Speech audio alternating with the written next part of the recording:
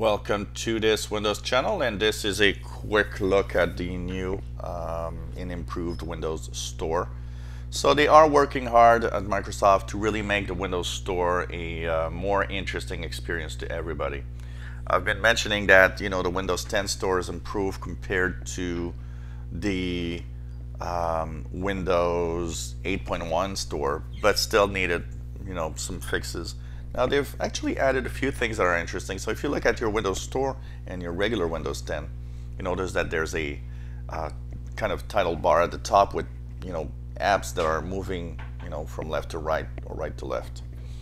And now it's interesting because they've put like the apps that they want to show you at the top, but they've put the I think it's easier to see the top apps featured top games and collection on the left side, four little kind of clickable tiles.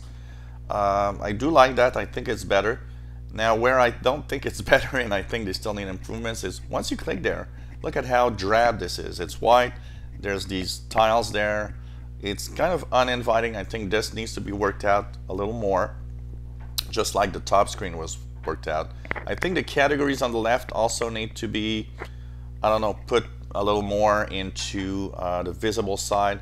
But still, you know, they're getting there slowly and um, they're trying to fix things um, by having you know like a reworked way. It's slightly better than it was but it does resemble a lot of the uh, regular app so I think here also you know everywhere you click for example if I click top paid or best rated or top free you know what? They should keep that.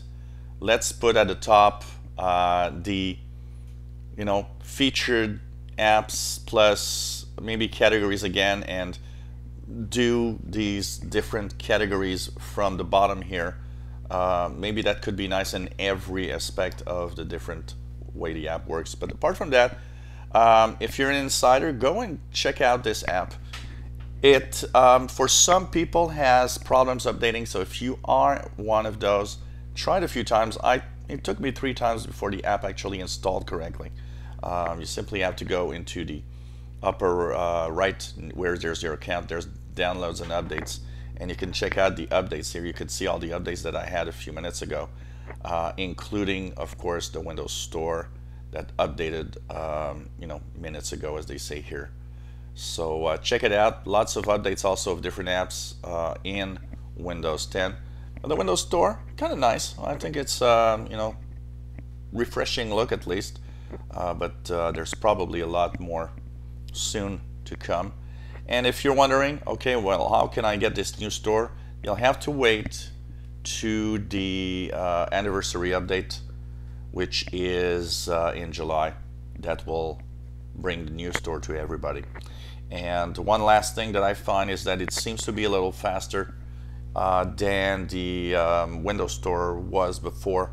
Seems to respond better so that's also something they seem to have tweaked it to make it a little faster in response basically. So if you're an insider uh, just check it out. You have an update for the store. You can check out if you enjoy if you like it or not. And of course uh, lots of uh, little tweaks here and there including uh, Xbox Universal Windows games that now are popping up here and there in this uh, new uh, store if you enjoy my videos, please subscribe, give us thumbs up. If you have any comments, questions, suggestions, let us know. Hopefully you enjoy our videos. This was a very quick look at the new Windows Store.